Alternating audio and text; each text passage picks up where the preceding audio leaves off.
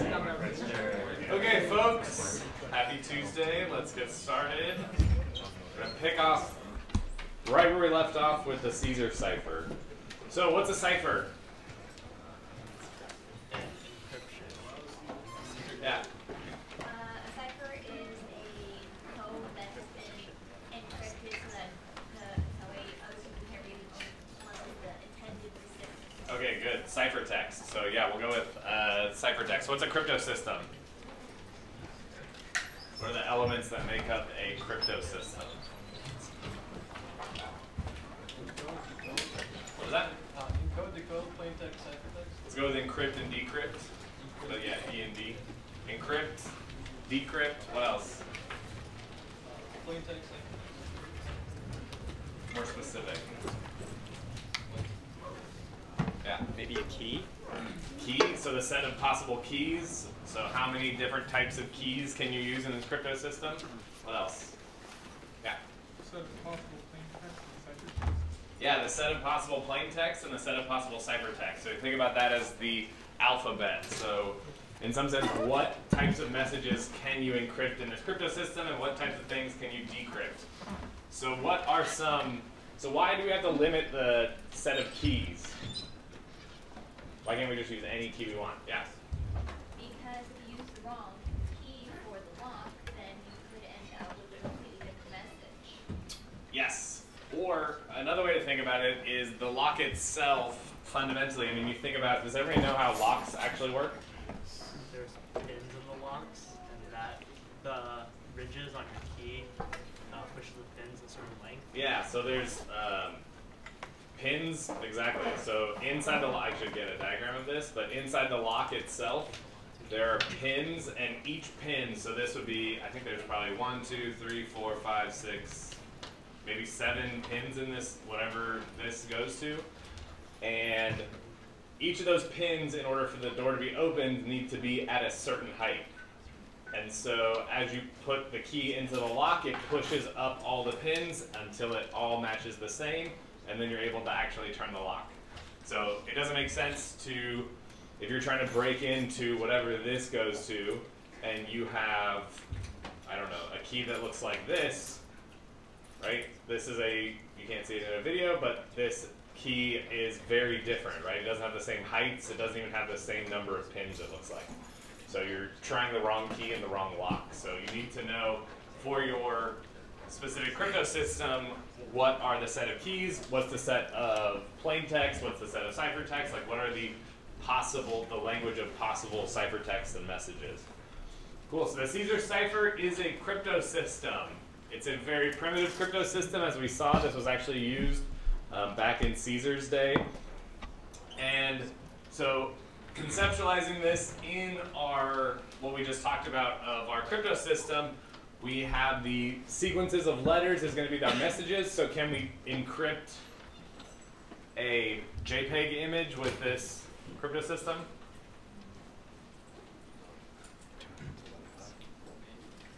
Maybe? Why maybe? Uh, correspond each bit with a number, assign that number to an alphabet letter, and then shift that alphabet letter. Yeah, you could go even even simpler, right? You could uh, take every bit and say if it's a zero, it's an A. If it's a one, it's a B, and just do a bit string of A's and B's, and run some kind of encryption on it. So that would be some kind of. Obviously, you're taking a random input or a uh, a different type of input, and you're transforming it such that it fits inside this message, uh, inside this language of letters. But so really, it doesn't matter, uh, but it may. We'll get to in a bit. So keys. So Caesar cipher. So what is the Caesar cipher? So what is the encrypt and decrypt functions? You add and subtract the numbers corresponding to a letter. Add and subtract what numbers corresponding to what letters? More specific. In a Caesar cipher Yeah. specifically, you would add three to every number. Why three? That's just the number you chose. Well, what about a more general crypto system? You can add anything between zero and twenty-five. What specific thing are you talking about? Uh, the What- number Yeah, what is that? each letter. Exactly. What is that number? Yeah. Yeah. What kind? I mean, what? How do you just make it up? It's key. It's the key, exactly. It's the key of the crypto system, exactly. So the key tells you when you're encrypting how many characters to shift a given character forward, and to decrypt, it tells you how many characters to shift a character back. Perfect. You're saying all the right things. I just want to get us back to the terminology that we're using.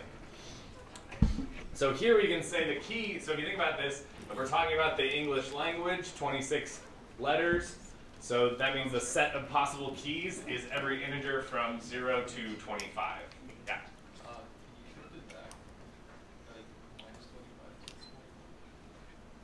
If you want to shift it, well, if you want to shift it back 25, what's that equivalent?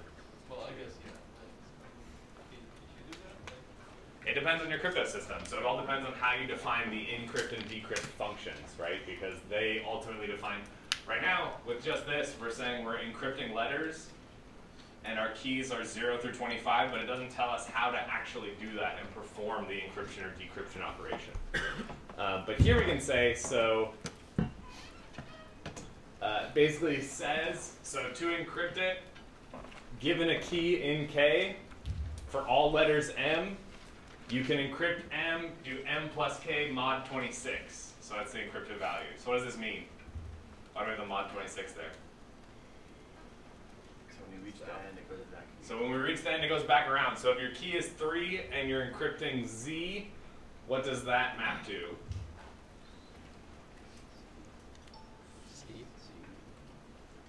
C, yeah, so forward 3, so, and you can easily do uh, 25 plus 3 mod 26 should be 2, right? 0 is A, 1 is B, C is 2.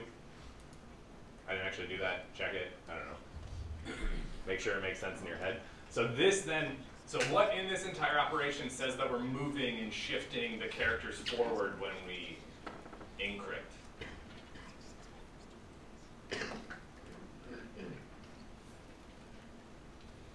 I is positive.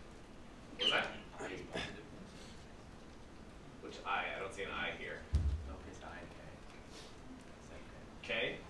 K. The- So K is positive?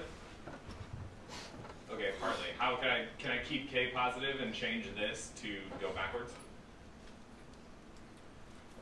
K to Exactly. I'm adding K, right? That's the only operation here. So to go back to your question, if I wanted to change this around to shift backwards, I would subtract K. I'd take M, move backwards K, mod 26, there we go. So then how would you write the decrypt function for this? Yeah. It's gonna be the opposite. The opposite. What opposite mean? Opposite is easy to say, harder to write. So,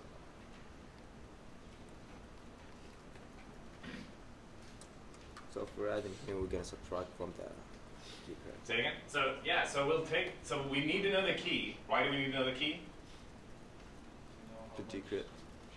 Yeah, to decrypt, we need to know how much to shift. And so we could do it uh, kind of a number of ways. So you could do it uh, 26 plus C minus K, where C is the number, the ciphertext. So again here, so we're using lowercase m because this letter is in the uh, set of plain text, and we're using C because it's in the set of ciphertext. They're the same set. And so now with this crypto system, now we can know exactly how to, what keys are valid. So if I said use this crypto system, the key is 102. Does that make sense? No, Why not? it's not. It's not in the set that we defined. Yeah, it's not in this set that we defined, right? So it's not in this key, so we can't use that key. We can only use 0 through 25. Cool. Questions on this? Questions on any of the notation here? Yeah. Is there a question in the back, or I think?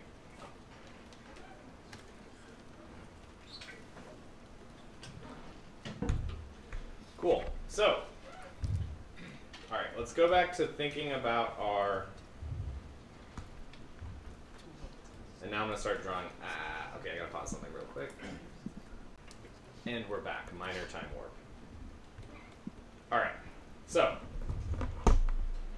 And now I will introduce the most famous people in cryptography. We have Alice and Bob. Alice wants to send a message to Bob. So Alice has some message M, So what do they need to do in order to use this scheme that we just talked about? Yeah. They, they both have to have the same key. So they both have to have the same key. Let's call it K, lowercase k to keep things simple. So Alice knows K, Bob also knows K. Alice wants to send send this message to Bob, so what does Alice do? Encrypts it. Encrypts it. So it takes the message, and what does she need to use in order to encrypt this message? K. Does everyone know K? Hopefully Ideally, not. no, Ideally no. Why ideally no? because you can decrypt it, steal the message, uh, intercept the message, write your own. Yeah, so think about so exactly. So then how does Bob so Bob so this outputs uh, we'll say that this outputs C, which Alice sends C to Bob. Does Alice send the message M to Bob? Why not? Plain text. Everyone would. Because it's plain text. Anyone who sees that message can know exactly what Alice is sending. Right? If she if Alice had a secure way to send the plain text message to Bob, she would use that. Right? Okay. So then Bob gets C. How does Bob get the message back? Decrypts it. Decrypts it. How does Bob decrypt the message? Using K. Take C and use Takes C K. and K, and like magic, outputs back M. Cool. Any questions on how this operates? How do Alice and Bob both know K?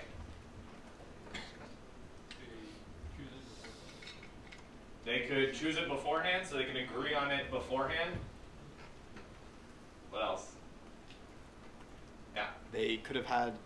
maybe they were met in person and they were able to exchange it secretly. Okay, meet in person, change it, exchange it secretly. Why doesn't Alice just send C and K along? No, anyone no who's point sent to that. Yeah, it's exactly the same thing as sending the message in plain text, right? Anybody who sees because all so for somebody to decrypt C, what do they need? The key. Key. The key K. So the key fundamentally must be kept secret because that is the entire in this scheme it's the entire linchpin behind this. I'm sorry, this is really loud. I'll try to be louder without this thing being annoying. Okay, so so now we're bad people, we're attackers. What's our goal? Decrypt the K, message. Get the message. Okay, I heard get the message. Alright, what else did I hear? So why do we want to get the message? To try to de- decrypt it. They could be exchanging codes with the stock market. or Yeah, so we want to so we want to understand the contents of this message because fundamentally we have C and we want to know this private communication. So we could so attackers we want to know M. What else would we like to know? Key. Hey, K? Why do we want to know K? To encrypt it. Say it again.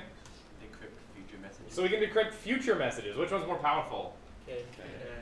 That depends on what you want to do, right? If you only care about that one specific message, then you don't care about the key as long as you can break that message. Right? If you have the key, then it's great because you can break all the messages. Yeah. Why the key, couldn't I also impersonate Alice? If you have the key, you can do what? Impersonate Alice How? by sending a message encrypted in the method that Bob thinks only Alice knows and sending it to Bob. Right, because once you have the key, you could then encrypt some message M prime with K, output some ciphertext C prime, send that to Bob, and when Bob decrypts it, what's Bob going to see? M prime, this new message that you tampered with that you controlled. Yeah. Wouldn't you also have to know the encryption slash decryption function? Mm. Which in practice isn't a huge issue because there's like five of them that are used. But Yeah, so why do I need to know E and D? like back in the day, if no one had ever heard of like Kaiser's cipher, then it's like, all right, what do I do with this? You know, if, if they intercepted one of his like messages, they even if they knew the key, it'd be like, well, Yeah, good point. Yeah. Well, if you have M and K, you can derive E and G probably. Ooh, if I have M and K, I could derive E and D. Well, well, if you have the original message and the ciphertext and the key, you can derive all, all So maybe if I have all three, maybe if I have the message, the key, the ciphertext, and maybe if I have multiple copies of those, maybe I can try to reverse engineer and figure out what the encryption algorithm is. And then from there infer what the decryption algorithm is. What else?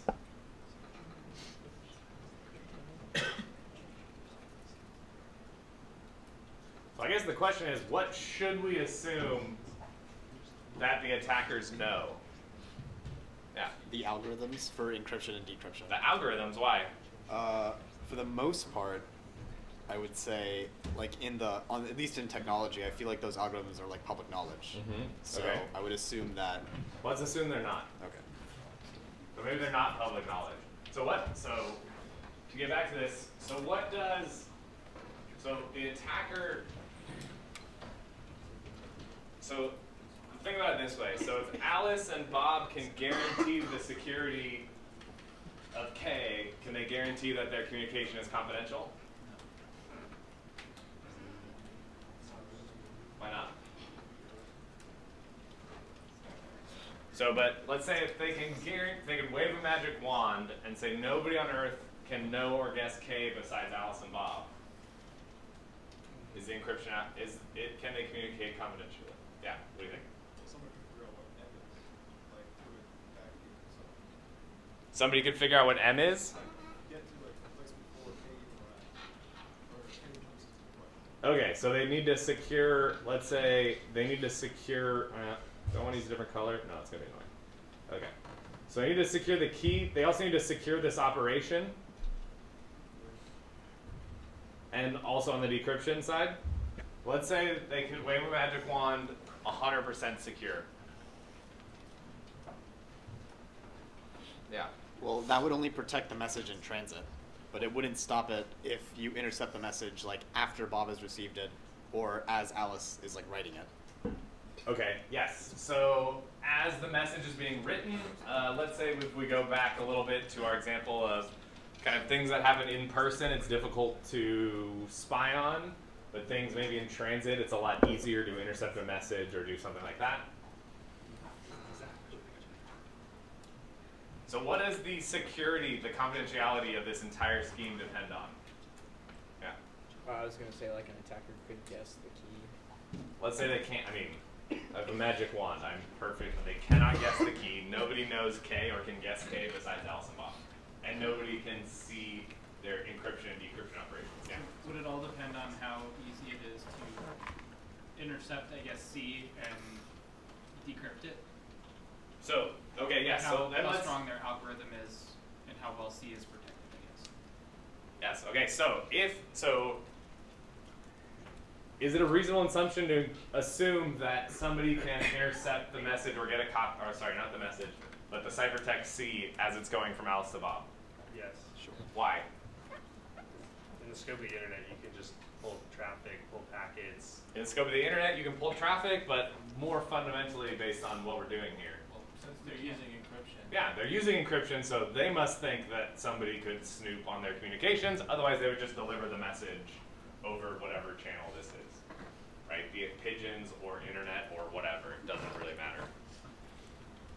Cool. Okay, so we know they have to do that. So then let's say, so the attacker, so we should assume, to be reasonable, that the attacker can get what out of this scheme? Ciphertext. The ciphertext C. So if the attacker cannot, let's say, cannot guess or know K, then how can Alice and Bob be sure that they can't get M? Or can they? Rephrase it a different way. Yeah. If, even if they don't know like the algorithm or the key, I feel like just with if, for this particular algorithm, I feel like if you had this ciphertext, because the because you're just shifting everything by a certain number of places, I feel like there would still be like some structure in the ciphertext. So it wouldn't be like completely random. Let's think less about that and more, but that would still be somehow figuring out K. But let's say that there's no way that they could guess K. Can you get enough ciphertext to deduce it? You get enough ciphertext to deduce it? Yeah, I mean, I guess that So I guess there's a couple things, right? So in ensuring that so a this is a difficult problem as we've just dove into. Um,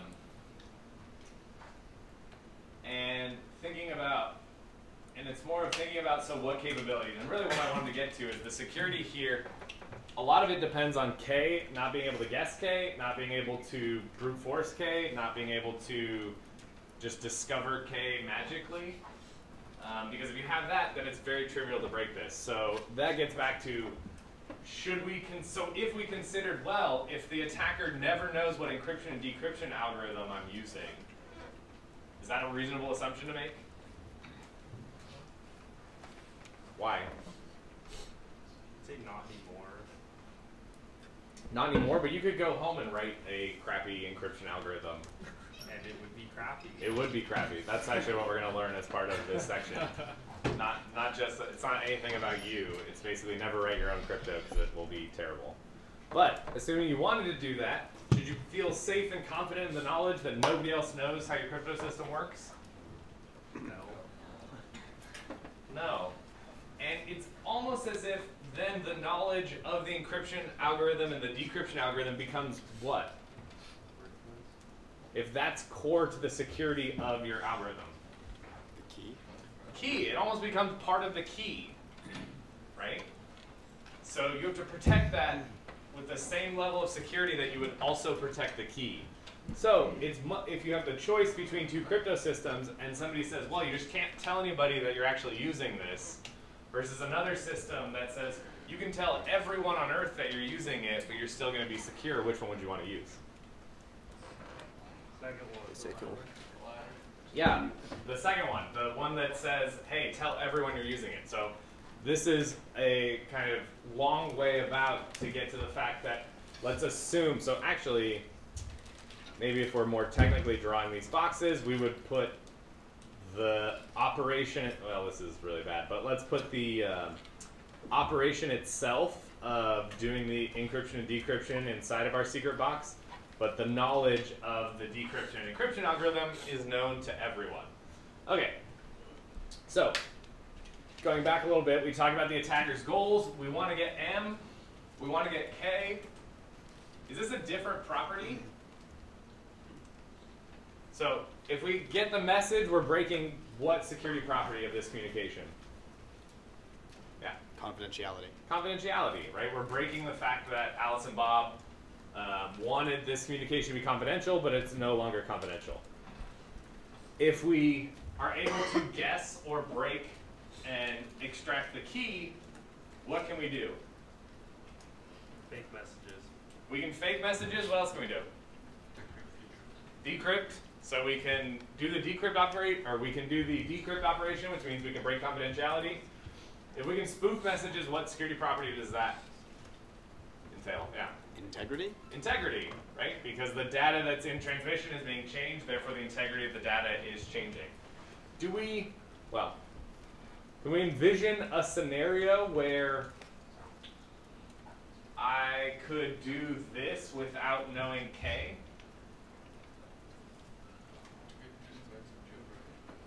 Yeah, what if, yeah, in the back? I was gonna say you can repeat a message that you've already observed. I may be able to repeat a message, so maybe they're sending multiple messages. I drop one and send an earlier one. Does that? Do I need to know the key for that? Not necessarily. So we'll state this more formally later, but um, let's say I could just find some m prime or some c prime that decrypts to some m prime that is what I want, a message that I want. So that could be reusing an old message. Maybe I just change bytes in the text and I will understand without understanding the key how those actually go about. Okay, cool. So, what does the attacker have access to in this model that we're building? Yes.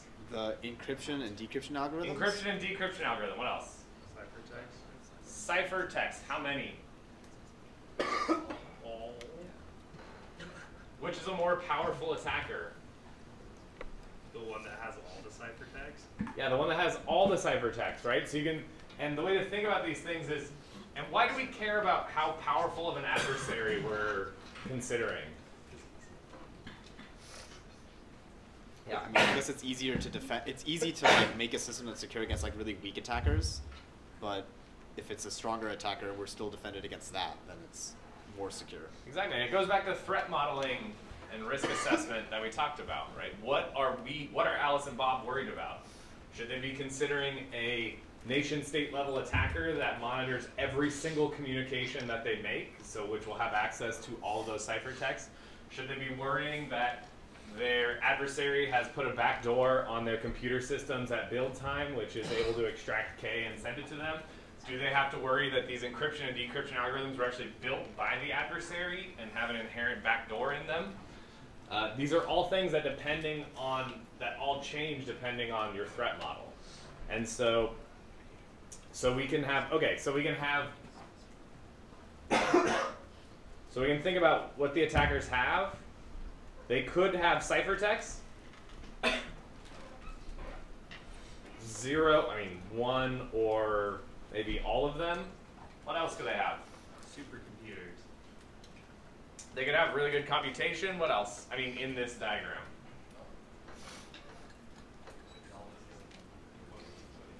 So we already assume that we'll always assume they have knowledge of the encryption and decryption functions. They have key keys. The key. Okay, but if they, they get the key, they break everything. So should we assume that? I mean, if you assume a powerful adversary that can get the key, you're done. Right? You've lost. There's no hope. Message. What was that? The message. Why is the message helpful? Um, because they could figure out the key using Yeah, what else would you have with the message? the ciphertext, perhaps. Yeah, so you could have a pair of original message and ciphertext. And you may have many of them. Why is that helpful? Is that more useful than just having ciphertext? Yes. Why? It Gives you the key. What was that? It tells you the key. It might tell you the key. I mean, maybe just having the ciphertext tells you the key. Right? But I think of it in terms of information. Do you have more information if you have the corresponding messages and ciphertext? Yes. Yes. Already, if you assume the attacker has the messages, you could say that they could take any message and substitute, or take any ciphertext and substitute it with a ciphertext they already know. So you can think about how the crypto system, how the crypto system will accept that or not accept that. Okay. So there's one more level of attacker that we haven't. So who sent these ciphertexts in our example? Alice. Alice. Who chose these messages and these ciphertexts? The attacker. Or who chose, let's say, the messages here? The, the attacker. Alice. Again, right? So here, I mean, assuming we've recovered these from that communication. So we have messages, we have ciphertext. What if Alice let me encrypt some messages? Eh, it's getting a little. I'm actually breaking our model a bit, but. Uh, Chosen plain text will tell you a lot. Right. So if I, as the attacker, so what's the difference if Alice chooses a message or I choose a message to encrypt? Yeah. Um, if you choose a message, you can design it in a way that like figuring out the function or figuring out the key is easier. For example, you could just encrypt a whole bunch of like the letter A, and then that allows you to like deduce a lot more about the process. Right. So with the Caesar cipher, so what happens if I encrypted all A's? Or just how many A's do I need? One. One A. So I encrypt one A. What's the ciphertext? Depends on the key. And it will be what exactly? A plus the key. A is what? Zero. Zero. Zero. So the ciphertext will be The key. the key. The key. You will get the key. Cipher in code like in code A, you will get the key. So if I know in this crypto system, if an adversary is able to encrypt a message of their own choosing, is breaking this easy? Yes. Yes, trivially easy, right? You just all did that. But is it reasonable for an attacker to be able to control what message they encrypt?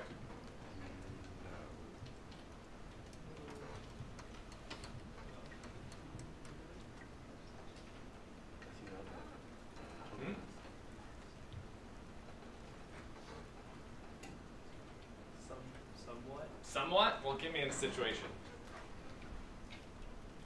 Like, you're saying, is it reasonable to assume that they?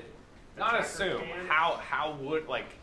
I guess the question is, what's the difference between an attacker who just knows the key and one who's able to encrypt a message, uh, a message of their choosing? World War II, the Enigma machine.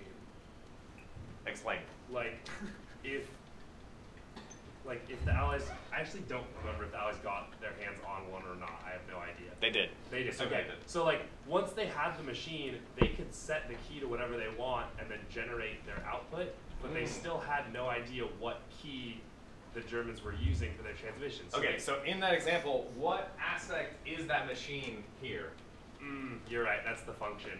Yes, so that's getting access to E. So I, you know, you can say it's easy to know E and D, and now it is, especially when everything's in software. But back then it was very difficult. But even after stealing the machines, understanding the encryption and decryption algorithm, that's still not a plain text attack because why? So let's say you set up this Enigma machine, it turns out it's a Caesar cipher, you run A through it, what is it going to tell you? What your key is. Your key. Is it going to tell you their Alice and Bob's key? If you're lucky. I mean, if you're 1 out of 26 lucky, you will get it. Yeah. So then what's this, so what's the scenario, so what's the difference then between somebody who can, like how, go to this Alice and Bob scenario, how can an adversary get their own plain text encrypted? Yeah. Kind of a stupid example, but like back to the Enigma is like, Yeah. if you know that they're transmitting messages from this center and you're intercepting them, you could maybe like be like, oh, they have a radio guy who just transmits this stack of messages Mhm. and just sneak in a bunch of your own. Yeah, spies, right? You think about spies. Alice maybe has a spy that slips in a message that just says A, or it says ah, like A and then H at the end. I'm like, yeah, this is a message that somebody would want to send. And you know that, and you're intercepting that communication. Have you stolen the key? No. K directly from Alice? No, the key is still very secret. But you're influencing and choosing exactly what plain text is getting encrypted. Is that more difficult than just stealing messages? Yeah, stealing messages is fundamentally easier than get tricky, especially if we go to this physical war scenario, right? That's actually a high risk activity. Cool. Okay, so then you could say basically, uh, I want to use prime. I already used prime. Somebody give me like a name. I'll put a hat on it. M hat. And you'll get C hat. Uh, all the way to. Oh, when I did this. M N hat. I'm just making up this notation, by the way. This isn't like standard notation. Uh, and what's the important difference between these two cases? Yeah. You choose in the bottom one. You choose what the message is, and in the top one, it's a message that you've retrieved.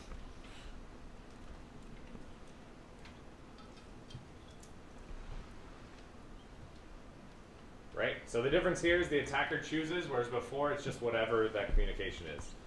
Cool. And so, okay, I guess I was, we'll shift now into more crypto terminology and we'll talk about adversaries because we're considering that adversary. And we will be oftentimes putting ourselves in the shoes of the adversary, somebody who wants to break a crypto system. And we've talked about the different ways that we can break it, right? Not all breakage is necessarily the same. And like we said, we'll assume they know the algorithm, but not the key.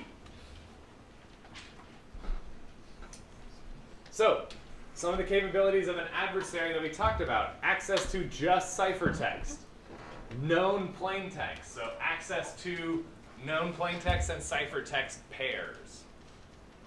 And then chosen plaintext. These are all the things that we just talked about.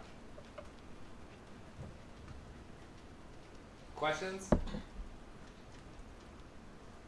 Are you little cryptanalysts breaking crypto systems? So how can we break this system? So let's go back to our Caesar cipher. So we have, so M was the set of, let's say, A through Z. Is that a Z? No. Oh, I need sleep. Okay. Key is something 0 to 26. Okay, so we talked about a chosen plaintext attack. So we can choose M1 hat. How do we break the Caesar cipher?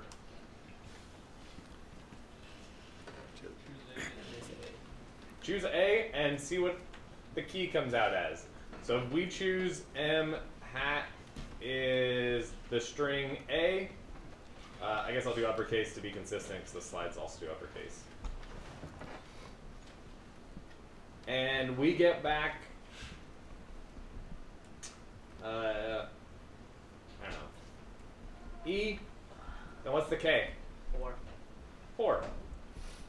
Right? And this is basically for any. So, so we can see, so is the Caesar cipher resilient to a chosen plaintext attacker? No. No. Doesn't, you just did it. You just broke it. Cool. Okay. What, what is a chosen plaintext attack? One more time. A chosen plaintext attack is where the attacker gets to choose what messages are encrypted. So they're able to influence the system. So let's go slightly weaker adversary. You have two messages. You have, I won't be able to do this in my head, but let's try anyways. Uh, you have M1 is, you know the message is, uh, I'm just going to make this very simple. And you have C1 is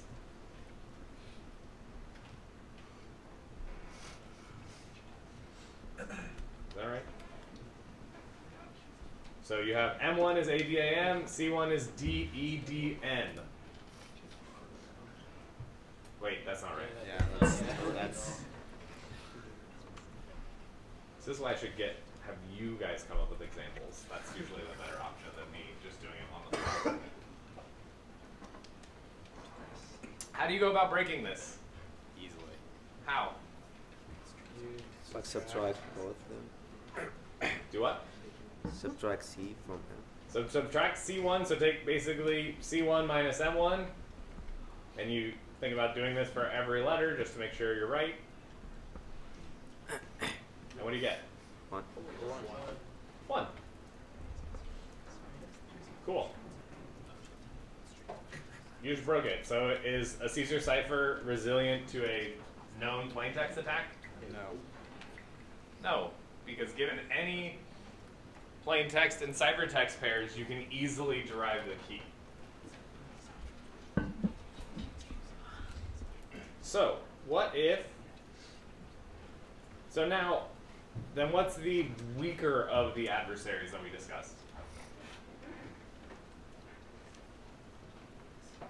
Yeah. Ciphertext only. Ciphertext only, so we only have ciphertext. And let's think about this. So could you have done the same thing if I just gave you the message is A and the ciphertext was B? Yes. And similar for this?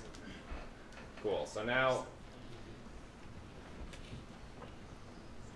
Alright. Good lines drawn. Alright, so now we have M. So now we have okay, so we don't have M, we have some ciphertext. What's the key?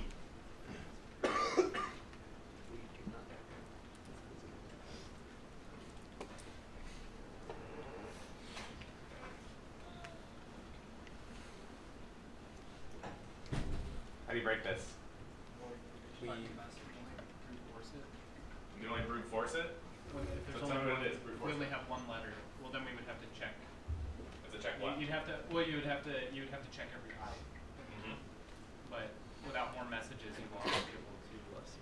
every I. But without more messages, you won't be able to. Well, Why do we need more messages? You were able to break it with one letter before. What's the difference? Yeah. Um, for this, we like if we're assuming that our like the ciphertext is in English, um, it's a little hard with one character because there's like A is a word in English and I is a word in English.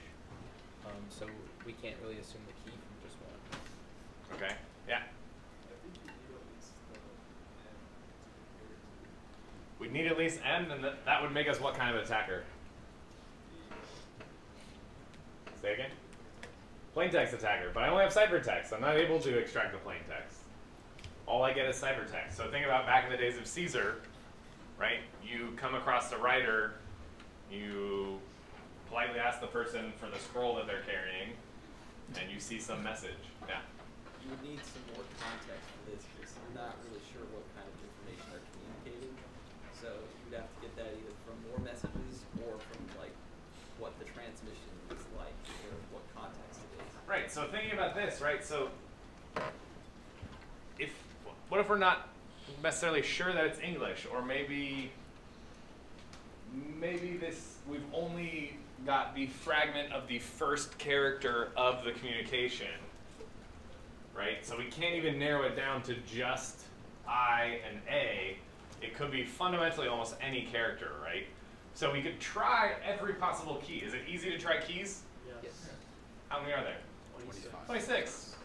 26. It's trivial. I guess technically 25, I guess, unless you think it's F. But 26 keys. But we can try them all. But how do we actually know if we're right? We can't unless we have context. Yeah, we don't actually know if we're right. How much information do we have here? Very little. Pretty much none. One We have character. one. One character. I wouldn't say a bit, but we have a character. Right? But fundamentally, this gives us no additional information because, well, we'll get into why much later, but intuitively, it doesn't make sense. If I wrote this on an exam of, like, give me the key K, you would just, I don't know, you'd probably be within your rights to walk out, but, like, don't do that actually during an exam. Although that would be funny, but don't do it. Um, right? So the problem here is there the set all keys could potentially be valid. So what would we need in order to start? Like how would we start? So then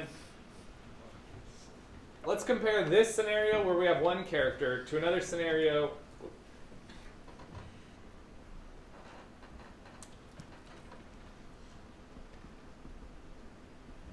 Where we have a huge string. I'm not going to come up with one because this is, I think I have slides for it later, so it's not a big deal. But we have a huge string. How do we try to figure out the key? Yeah. You only decrypt like the first couple letters and see if it makes sense of it, and then so you don't have to test the whole, uh, test the key on the whole message because that's cumbersome. Whereas if you only test every key on like the first couple letters, if the first couple letters are like in uh, actual words, then you use that key to decrypt the rest of the message. Okay, so you could start by going through every key. I mean, I guess it does depend on how long this is, but fundamentally, if it's, let's say, even 10 characters long, 20 characters long message, you could shift each of the letters in the string by 0 through 26 keys. And then how would you know which one is the message? Whichever one makes Or- sense. Whichever one makes sense? What does that mean? Based on like the it. context. If you know Alice is saying like a So what, what property are you using to then derive this key? English words. Yeah, English words or essentially knowledge of that. Are they encrypting? I mean, is the message going to be a random string in? Do I have M here? No. I have M. Is the message going to be some random string in M? If it is, then how will you know which one is right?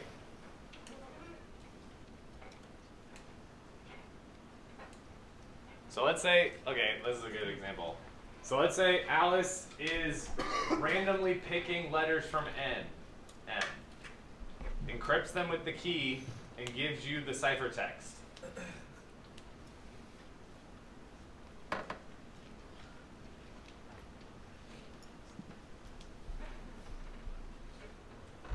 So Alice is so she gets M1, which you don't get. You'll never know M1.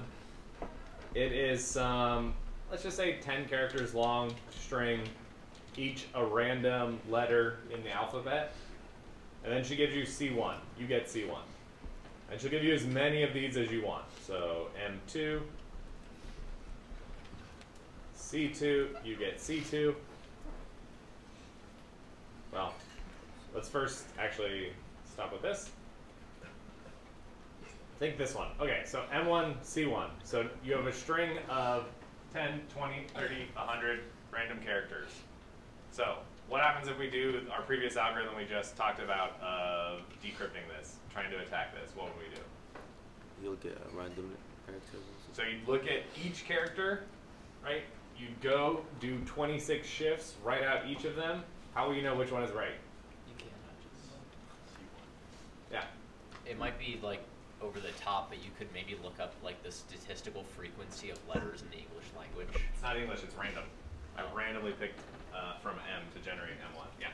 Well, if, if M is randomly generated, then there's no information being passed, so the crypto system is meaningless anyway, right? Yes. In some sense, yes, right? Like what what is Alice communicating to Bob if it's a random string? If the random string's like her chosen password, right? Could be. I mean, we don't know if that's going to be used later, but maybe there'll be more semantic information in future messages. Or maybe if she's, I don't know, sending that as part of it. Maybe But- allocation. What was that? Allocation or something. Uh, I think maybe, yeah. But the, the key idea here is that before, if it's an English string, we can brute force, decrypt everything, look at it, because we know that the plain text is not a random, uniform distribution of all possible letters in the alphabet. There are certain limits. What are those limits? Yeah. People like to communicate with each other. Yeah, with a language. They like to communicate information, right? Let's change this slightly. We'll say Alice reuses K. She generates some M2. Gives you now ciphertext 2. Now can you break the key? Yeah. Isn't that like the same thing as having one for the two letters? Say it again? Isn't that the same thing as having one string except for just a little bit more letters? Yeah, like Isn't that essentially it, there's the same thing? there's no difference in having one or multiple strings if they're. Perfect. So we can get as many ciphertexts as we want, but fundamentally there's no information, even though the key is only 26 bytes. I mean, only 26 choices. But you still, because there's no information content in them, you still can't understand them. Cool.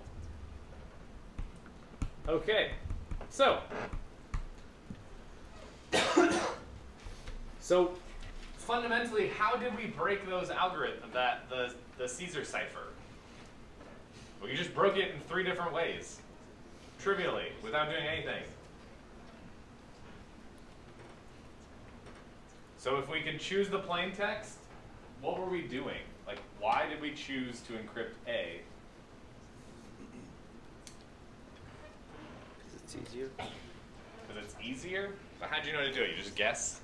Because it is zero. Then you add a key on top of it and mod twenty-six. A is zero, you have a key on top of it, mod 26. You just get the key. Yeah, so you analyzed the algorithm, you understood that the encryption process is reversible in some sense, right? So if you know? So you know that if you can control m, so m is zero, you could say zero plus k mod 26 gives you k, you can solve for k. So that means ek of zero is the key. What about the second one? Of where if we don't, we have a known plain text and the corresponding ciphertext.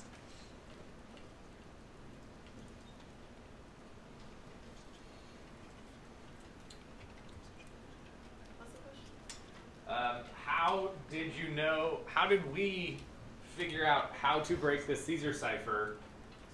So we, we just discussed uh, at the chosen plaintext level where we get to choose. We use knowledge of the algorithm to figure out what to do. How did we break it? So we'll, we'll go back here. How did we break it when? Oh, that when we were given uh, Adam and we had the other thing that Adam encrypts to that I don't want to rewrite. So we knew. So here we have a plain text attack. So we have the plain text, we have the ciphertext. How are we able to derive this key? Subtract. Yeah, similar idea, right? We analyzed this algorithm and we said, well, if here we know the result and we know m, then we can solve for k very easily. What about this ciphertext only attack? Can we break it if we just have one character? No, we just talked about that. What if multiple characters? How do we how did we start to break that? It's in English. Yeah, so we tried to figure out and essentially kind of brute force the key to figure out what is the message likely to be. Cool. So these are actually all the basically the main ways you go about breaking uh, crypto systems. So one, mathematical flaw. So this is basically find a flaw, uh, understand the crypto system. So this was very easy. I mean, if you think of if somebody told you that the Caesar cipher is resistant to a chosen plaintext attack, you can see mathematically that is not true because what what property would you want to hold for the Caesar cipher to be resistant to a plaintext, a chosen plaintext attack at a high level? Yeah. Maybe that uh, it doesn't necessarily map. doesn't- If I was gonna say it doesn't necessarily map to the same character. That doesn't. Think about it at a high level. So what does the attacker know? Given the ciphertext, so given like EK of some message, so given an encrypted message, ciphertext, and M that the attacker chooses, should they be able to derive K? No, because that's what you want to prevent. Here we can see that that's not true. You just proved that's not true. Um, cool. So other statistics we can, so other attacks we can do, and this is the main basis for a lot of kind of classic crypto attacks, are statistical attacks, where you're trying to make some kind of assumption based on the underlying language. So this would be um, your knowledge of, as we talked about, Caesar cipher, you have a long string, you try all 26 combinations, and you say only one of these looks like English. And I know Alice and Bob speak English, they are highly likely to be speaking English to each other. Cool. And what was an implementation attack? What would that be? So assume your math is perfect. Your crypto system is so awesome it leaves no trace of any statistical attacks. There is no statistical traces of the message and the crypto system. Uh, sorry, the message, the plain text, and the ciphertext. Are you secure? Yeah. Uh, maybe it's like um, so like in a computer system, if like you're not even encrypting the messages before you send them, so like theoretically you it is un like unattackable via math and whatever, but because you decide not to encrypt it in the first place. Yeah, what if I have a bug that accidentally sets the key to be zero?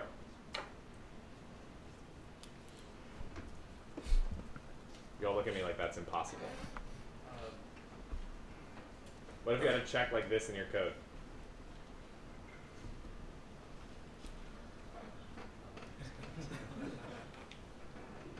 Mm, just has bit some of you before, I can tell. Right? Or you can think about, I don't know, maybe one or something like that. Oh no, zero is actually better because it won't take this branch. So you can easily have an implementation bug. The math is beautiful, perfectly secure, no statistical problems. But because of the way it's implemented, the key's always zero. The adversary can know that and break and decrypt all of your messages. Yeah. Even like less innocent stuff, like CRIME and BREACH both used how uh, encrypted data was compressed to Yeah. deduce key length. Yeah, all kind and I don't know if I call that implementation. I guess that depends on where you fall on the what parts are implementation and what parts are theory and math stuff.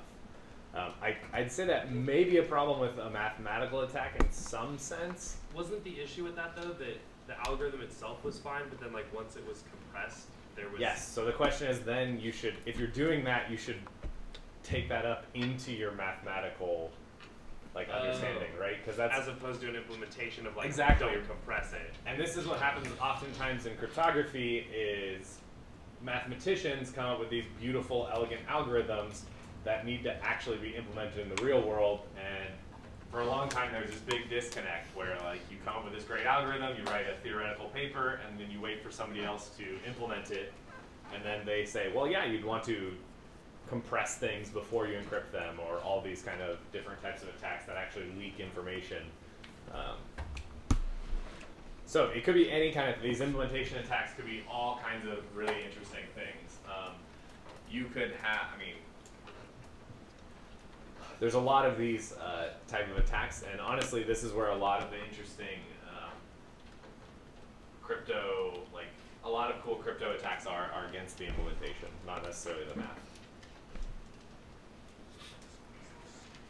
Which makes sense, right? Otherwise, if we're all using encryption that is known mathematical flaws, what are we doing, right? Like, why use those?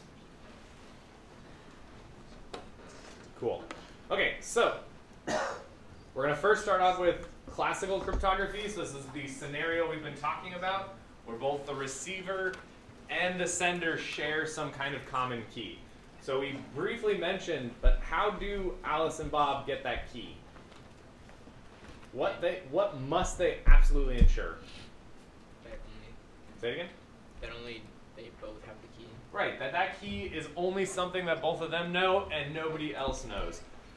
As we'll see, why why can this be difficult? Yeah. If you're communicating with like a web server, you're not gonna like. How are you gonna give them a secret key? Right, again, in this case, Alice and Bob have a need to communicate securely.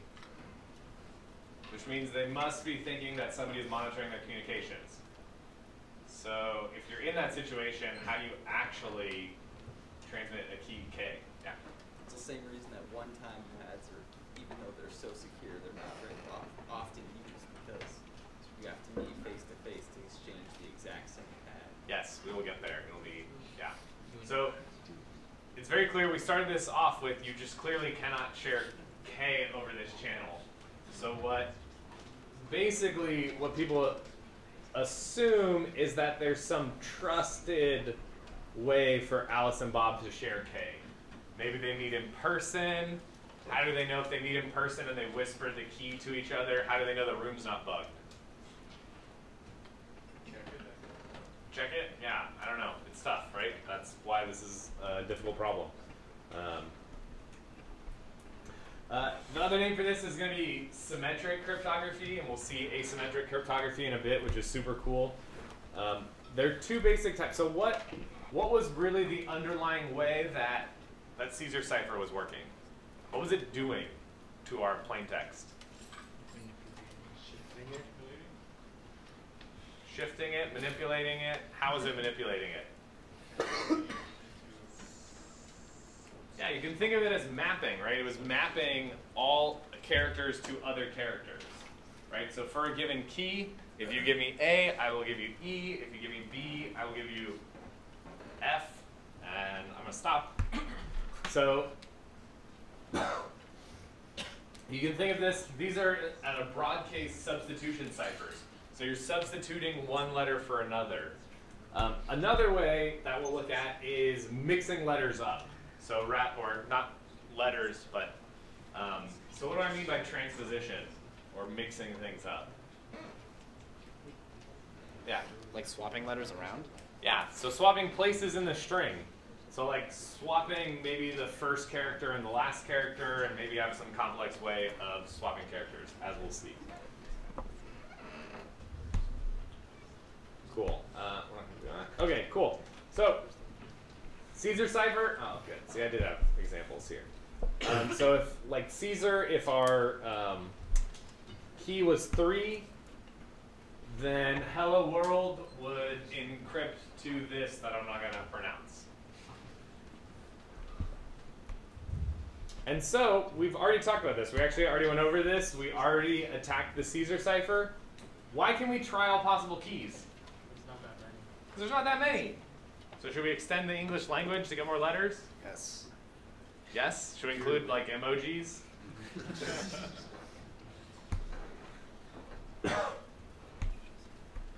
so when we do statistical analysis, so what? So we can exhaustively search. We can try all the keys, which we talked about. What would another way of attacking this be? So let's say there's more possible keys. Yeah. You could look for like the word the appears in English a lot, so you could search for a three a three letter set that repeats itself a lot. That repeats itself. Why is repeating itself important? Because it's probably the same word. Yeah, so it's probably the same word because all the characters have been shifted the same amount. So THE will be shifted the same no matter where it appears. What other ways? Yeah. Letter frequency. Letter frequency. Idea, but instead of looking for like a common word, you're just looking for a common letter. Right, so why is that important? Aren't all the letters important?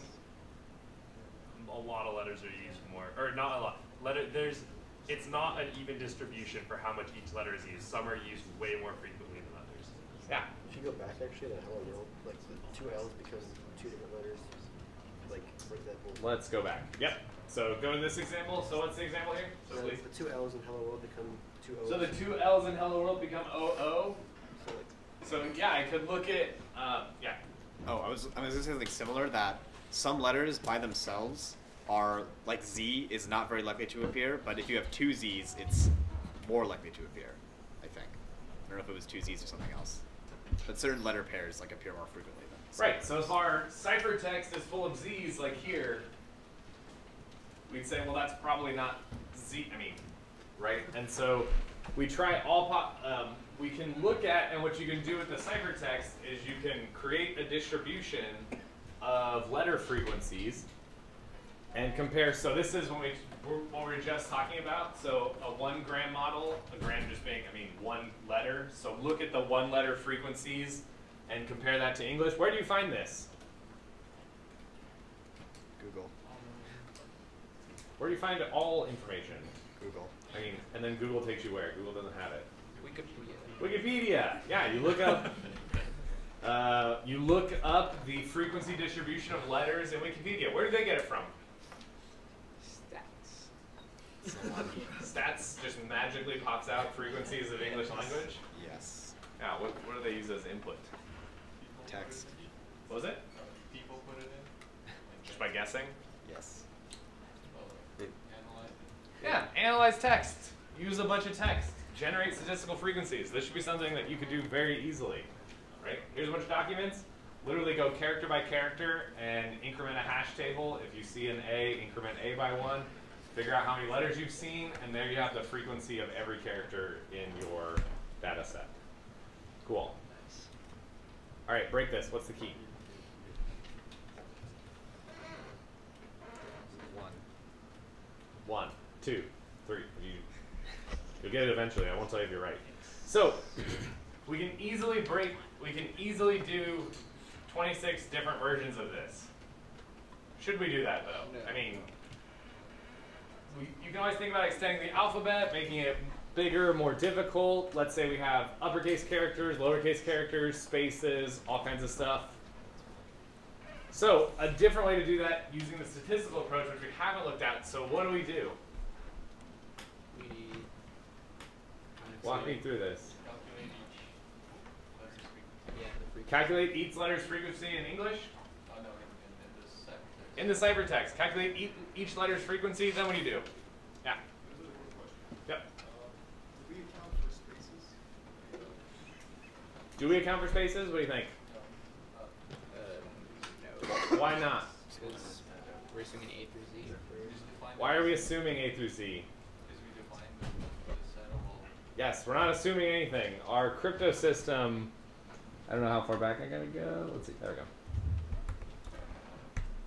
Our crypto. Oh, this isn't the crypto system. All right. Our crypto system are sequences of letters, and we can tell based on the key. So the key is 0 through 25. So what happens if we have a space? It's gone. I don't know, it just doesn't make sense, right? So here we just remove them in this example. Uh, that does not to say that you couldn't imagine a Caesar cipher with spaces. You just have to figure out which position you want that to be, what happens, uh, what things shift to spaces, all that kind of stuff. So it's it usually has a lot more complexity. So usually in these classical crypto systems, they just ignore spaces, and you basically let people figure it out when they've decrypted it. All right. Okay, so walk me through this. I actually want to do this. This could actually be fun. Do you want to do it Yeah. together? Yeah. I was gonna say, wouldn't you compare or find out the frequency of the letters in this string and compare that to the frequency of letters in the English language, and then see which ones, uh, or see what frequencies kind of match up? Yeah. So then, what was that like? What are you looking for, or how how do you test, or how does that help you? I guess, in like Well, like, going forward. say in this, in like a string, like, uh, the frequency of Z is point, like, six or something. Mhm. And then in the English language, the frequency of the letter, like, D is point six, then maybe you could say, oh, Z could possibly be D. Cool. And then, what, how would you validate that assumption? Uh, you would substitute D in for Z and do that for all of the letters. Exactly, because that gives you a possible key to test, right? The difference between Z and D gives you a possible shift. So you try that on all the all the characters, and then how do you know if you're right? If it makes sense at the end. If it makes sense, if it's if it makes sense as an English string. Cool. All right, this will be fun. We can probably do this really quickly. Ah, that's a bummer. All right, we'll pretend like that's not there. So I think this will be better. To prove to you that you can do it. Ugh. Sorry, my system is a little broken. Okay, cool. So I have. I'm gonna. Can everybody read this? Everyone? No. How about now? Yeah. Okay, so we have our ciphertext C, and I want to calculate what? Frequency. The frequency of what? Each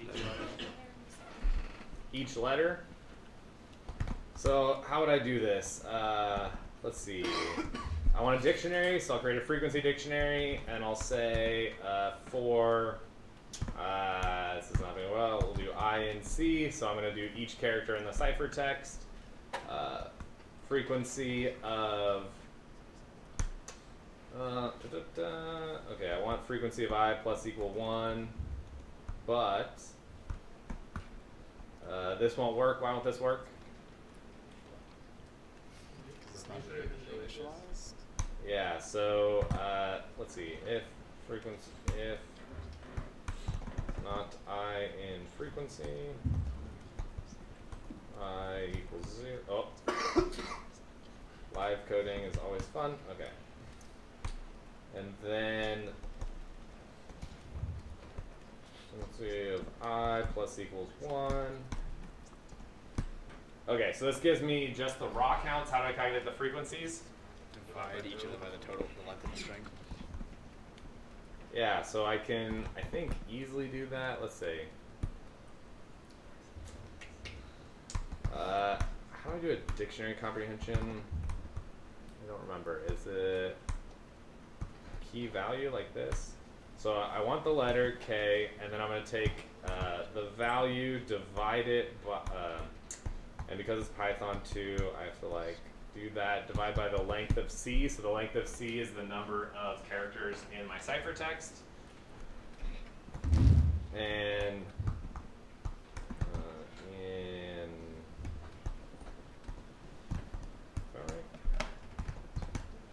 Oh, cool. Okay, and okay, so then we have the frequencies. So now I need to compare this to Real frequencies. how do I figure out which is the most frequent letter Take the Oh, max. it could be in this? Take the B. yeah, well, I need to figure it out somehow, right? So I can do, uh, let's say, find the greatest. what was that? Find the greatest value. Let's say I want to sort these, so uh, count dot. Um,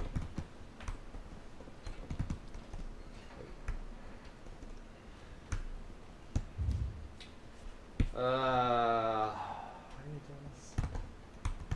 I want to sort, but I want to pass in a lambda.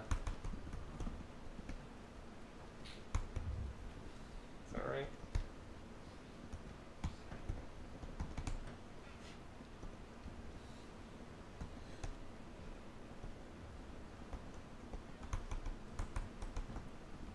You're gonna make me figure this out?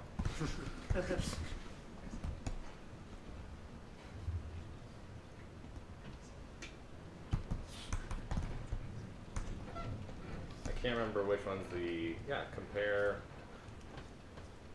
I don't know. It's key, I think.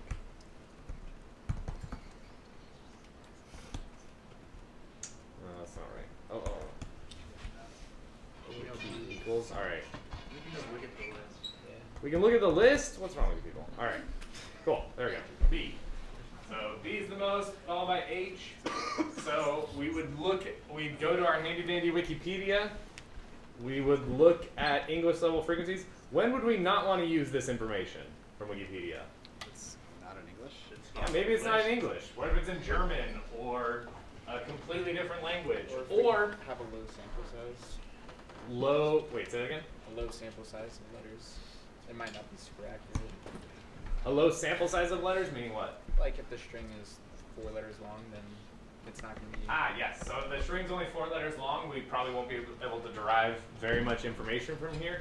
What if it's, I don't know, paleontology, paleontologist sharing information? Weird words. Yeah, weird words with weird characters that don't normally appear in English, right? And so that actually may skew our understanding of what strings and what things to try. Cool. Okay, so we would try. So now this then narrows down the window. So now we try. What about B shifted to E? Because we just saw in this that E is the most common letter. Don't do B to E doesn't really make sense. Why? Because in the string that you had, it was I think it was LB was the start, and that would map L to O, and OE is not commonly the start of any word. Yeah. Okay. Then what would I try next? Next most frequent, Uh, H. So I try H to E. yeah, which is a shift of Well, we'll see. Um, another thing you could do is you could just draw this histogram, right? So you could draw this graph compared to this one and figure out what shift matches up more closely to this. Um,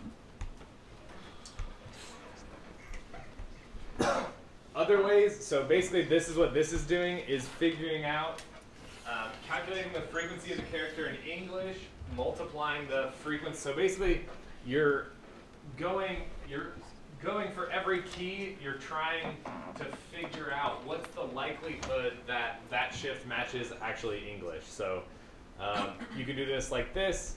This will give you a score for every possible key size, which is essentially doing a mathematical way to do our intuition of try the one that shifts it the most while considering all the possible frequencies.